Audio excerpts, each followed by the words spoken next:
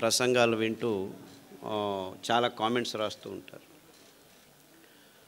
ఒకచోట ఒక అబ్బాయి నాకు just twenty three year old అబ్బాయి ఒక చిన్న క్లిప్ పెట్టాడు నా నెంబర్కి. బెంగళూరులో twenty three year old boys రెండున్నర లక్ష రూపాయలు అదేదో మోటార్ సైకిల్ కొనుక్కున్నారట. బుర్ర బుర్రని తిరుగుతున్నారు. సార్ చెప్పినట్టు హెల్మెట్ పెట్టుకోకుండా యాక్సిడెంట్ పాలయ్యారు. ఇద్దరకు తలకు ఏటైంది స్పాట్. చనిపోలేదు. హాస్పిటల్లో కోమాలో ఉన్నారు. ఆ హాస్పిటల్లో ఇలా యాక్సిడెంట్ అయ్యి కోమాకు వెళ్ళిన వాళ్ళు ఇప్పటికి వెయ్యి మంది అడ్మిట్ అయితే ఒక్కరూ బయటికి రాలేదు. అందరూ పైకి వెళ్ళిపోయారు. మూడు రోజులు నాలుగు రోజులు ఐదు రోజులు ఐసీలో ఉన్న తర్వాత. సో ఆ డాక్టర్లు అందరూ అక్కడికి వెళ్ళిపోయారు ఇంకేమీ లేదు అందరూ పిలుచుకోండి అని చెప్పి వాళ్ళ ఇంట్లో అందరికీ చెప్పేశారు. మూడు రోజుల తర్వాత ఒక అబ్బాయి చనిపోయాడు. ఇంకా మూడు రోజుల తర్వాత ఇంకో అబ్బాయి ఇంకా చనిపోలేదని డాక్టర్లు అందరూ వెయిట్ చేస్తుంటే ఆరో రోజు రాత్రి ఠక్కని లేచి కూర్చున్నాడు. ఇంకా ఆరు వారాల్లో బాగా అయిపోయాడు నడుస్తున్నాడు. సో ఈ డాక్టర్లందరికీ అనుమానం వచ్చింది. ఏం జరిగింది? ఇంతమంది చనిపోయారు. సార్ మీకు చెప్ ఆయన చెప్పాడు కదా ఆరోగ్యం ఉన్నా యాక్సిడెంట్లో చనిపోతారు మీరు జాగ్రత్త అని. ఇది జరిగిన విషయం. ఎలా బయటపడ్డాడు వీడు? వెయ్యి మంది చనిపోయారు. ఇంత కోమాలో ఉన్నవాడు మళ్ళీ వెనక్కి వచ్చాడని వాళ్ళు అదే పనిగా పని కట్టుకొని ఎంక్వైరీ చేశారు. వాళ్ళ ఇంటికి వెళ్ళారు. వాళ్ళ అమ్మ నాన్నని అడిగితే మా అబ్బాయి యూట్యూబ్లో డాక్టర్ ఖాదర్ ప్రసంగాలు విని గత రెండు సంవత్సరాలుగా సిరిధాన్యాలను మాత్రమే భోంచేస్తున్నాడు.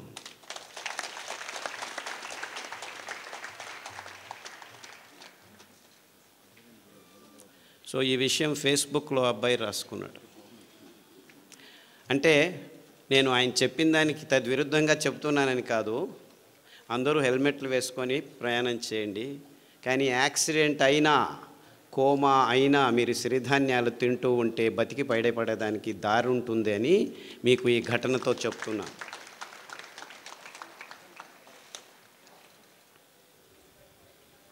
నేను గుంటకల్లోనే చదివాను. చేంతాడు చేతిలో వేసుకొని ఆరు కిలోమీటర్లు దూరం వెళ్ళి ఆ చేంతాడు ఒకే బావి ఉండేది నీళ్ళ బావి ఆ దర్గా దగ్గర అటువైపుకి వెళ్ళేవాళ్ళం మేము. ఆరు కిలోమీటర్లు నడిచి పొద్దున్నే ఐదింటికి లేచి నేను మా అక్క బుచ్చక్క అనే పేరు ఇద్దరం ఆరు కిలోమీటర్లు నడిస్తే వెళ్తే చేంతాడు. నేను చిన్న పిల్లోడిని. ఇంత ఇంత ఇంతలాగా ఉండేవాడిని. చాలా వెరీ స్మాల్ షార్ట్ ఫెలో ఇప్పటికూ పొట్టివాడినే. ఆ? ఆ చేంతాడు ఎత్తుకొని పోయేదానికే ఆరు కిలోమీటర్ పోయేవాడికి కింద పడిపోయేవాళ్ళం. ఆ చేంతాడు ఎంత బరువు ఉండేది. ఎందుకంటే చేంతాడు పది అడుగులు పదహైదు అడుగులు కాదు. ముప్పై అడుగులు పోవాలా లోపలికి నీళ్ళు రైలు అంటే సో ఇద్దరం కష్టపడి రెండు బిందెలు తీసుకుని వచ్చాను చేంతాడు ఇక్కడ వేసుకొని. నీళ్ళు తాగాలంటే అంత కష్టపడాలి. సో గుంతకలు వాళ్ళకు నీళ్ళ అభావం గురించి ఎవరు ఏమీ చెప్పాల్సిన అవసరం లేదు. కానీ తమాషా ఏమిటంటే ఇంకా మొత్తం ప్రపంచమంతా ఇంకా ఆరు నుంచి పది సంవత్సరాల్లో నీళ్ళు లేకుండా ఉండేది. తాగేదానికి నీళ్ళు కూడా దొరకని పరిస్థితిని మనం ఎదుర్కోబోతున్నాం. అంతేకాదు ఈ ఎలక్ట్రిసిటీ కూడా ఉండదు మీకు ఇంకొక పదహైదు ఇరవై సంవత్సరాల్లో. బొగ్గు అయిపోతుంది ఇంధనాలన్నీ అయిపోతున్నాయి. నీళ్ళు లేకుండా ఉంటాయి. ఇప్పుడు మీరందరూ హ్యాపీగా వరి బియ్యము గోధుమలు చక్కెర మాంసము కోడిగుడ్లు తింటూ ఉన్నారు. ఇది తింటూ మీకు ఆరోగ్యం వచ్చింది అనుకున్నాం అందరూ బాగానే ఉన్నారు అనుకుందాం. రోగాలు లేవు అనుకుందాం. ఎవరికి బీపీ లేదు ఎవరికి డయాబెటీస్ లేదు ఎవరికి క్యాన్సర్ లేదు ఎవరికి హెచ్ఐవి లేదు ఏమీ లేదు. అందరం బాగున్నాం. వరి బియ్యం చాలా మంచిది. తింటే ఏమి రోగాలు రావు ఇంకా ఆరోగ్యంగా ఉంటుంది అని కూడా అనుకుందాం. గోధుమలు తింటే చాలా అద్భుతంగా ఉన్నాం అనుకున్నాం. కోర్స్ మనమందరము వెంట్రుకలకు పెయింట్లు చేసుకొని యంగ్ పీపుల్ అనుకొని తిరుగుతూ ఉంటున్నాము. అది వేరే విషయం. రోగాల గురించి తర్వాత చెప్తాను. అంటే మనం తింటున్న పదార్థాలన్నీ మంచివే ఆరోగ్యంగానే ఉన్నామని అనుకున్నా ఈ రెండే రెండు కారణాలకి మనం వరి బియ్యం తినటం ఆపు చేయాలి గోధుమలు తినటం ఆపు చేయాలి చక్కెర తినటం ఆపు చేయాలి కోడిగుడ్లు తినటం ఆపు చేయాలి అన్నీ తినటం ఆపు చేయాలి. ఎందుకంటే నీళ్ళు లేవు. ఇంకా పదహైదు సంవత్సరాల్లో వరి బియ్యం పెంచుకునే దానికి నీళ్ళు ఉండవు కోడిగుడ్లు తయారు చేసుకునేదానికి నీళ్ళు నీళ్ళు ఉండవు చక్కెర పెంచేదానికి చెరుకు పెంచేదానికి నీళ్ళు ఉండవు ఏమీ ఉండవు. నాలుగు వానలు వస్తే చివరకు పెరిగేది ఈ సిరిధాన్యాలే. అంటే వీళ్ళందరూ చెప్తున్నారు రుచిగా చేయండి ఇది చేయండి అది చేయండి. అవంతా ఏమీ అవసరం లేదు. ఇంకో పది సంవత్సరాలు మీరు అందరూ కళ్ళు మూసుకొని నీళ్ళు లేని పరిస్థితిని ఆలోచించుకోండి. కోర్స్ నా దురదృష్టం గొంతుకలలో వచ్చి నీళ్ళు లేని పరిస్థితిని ఆలోచించండి అని చెప్తే ఇడు పిచ్చోడు మాకు చెప్తున్నాడు అనుకుంటారు. నేను అనుభవించాను. కానీ ప్రపంచమంతా ఇదే స్థితికి రాబోతుంది ఇంకో పది పదహైదు సంవత్సరాల్లో. ఈ డ్యాములు కట్టినారు ఏమీ లాభం లేదు. డ్యాముల్లో నీళ్ళు ఉంటాయి కదా మీరు ఎత్తిపోసేది. ఆ నీళ్ళు లేని పరిస్థితుల్లో మొత్తం ప్రపంచమంతా హాహాకారాలతో ఆకలి మంటలతో భయానక స్థితిని ఒక్కసారి కళ్ళు మూసుకొని ఊహించండి. ఆ స్థితి నుంచి దూరం కావాలంటే మనం ఇరవై సంవత్సరాల ముందే ఎంత మంచివైనా గోధుమలు మంచివే అని చెప్తున్నాను చక్కెర మంచిదే అని చెప్తున్నాను ఏమి రోగాలు రావట్లేదని చెప్తున్నాను ఇదంతా ఇమాజినరీ కండిషన్ అఫ్ కోర్స్ ఇప్పుడు ఉన్నది అన్ని రోగాలే అనేది ఇంకొక ఐదు నిమిషాల్లో మాట్లాడతాను.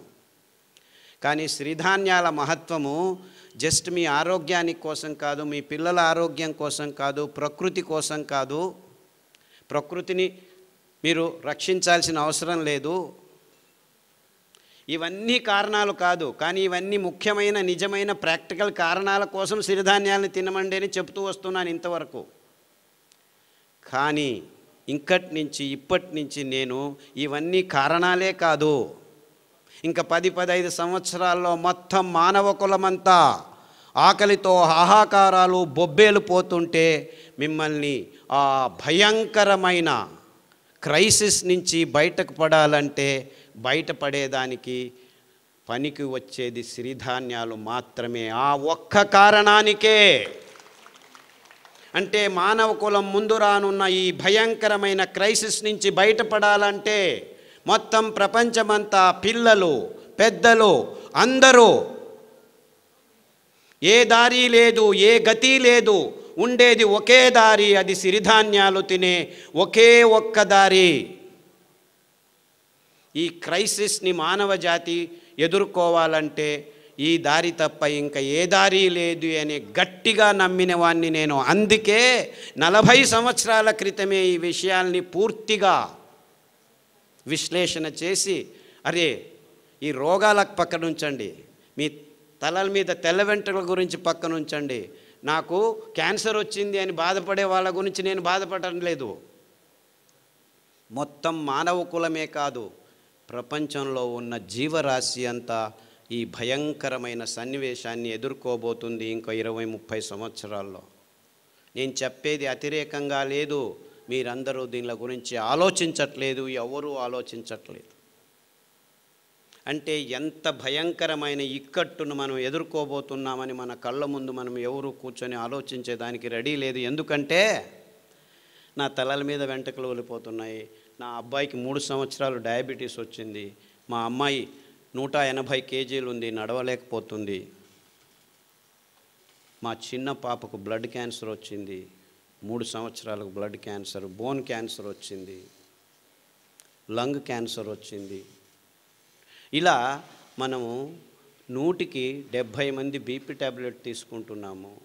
నూటికి ముప్పై ఎనిమిది మందికి డయాబెటీస్ వచ్చింది. నూటికి ముప్పై ఆరు మంది థైరాయిడ్ ట్యాబ్లెట్ తీసుకుంటున్నాము. నూటికి పదహారు మందికి నిద్ర రావట్లేదని ట్యాబ్లెట్ తీసుకుంటున్నారు. నూటికి పదహారు మంది నిద్ర ఎక్కువ వస్తుందని ట్యాబ్లెట్ తీసుకుంటున్నారు. ఇలా ఎన్నెన్నో కారణాలు ఉన్నాయి ఎన్నెన్నో రోగాలు ఉన్నాయి హెచ్ఐవి వచ్చింది ఎస్ఎల్ఈ వచ్చింది ఐఎస్ఆర్ వచ్చింది ఐబిఎస్ వచ్చింది. ఇలా అక్రానిమ్స్ పెట్టుకొని నూట ఎనభై ఐదు రోగాలన లిస్ట్ చేసుకుంటున్నాము.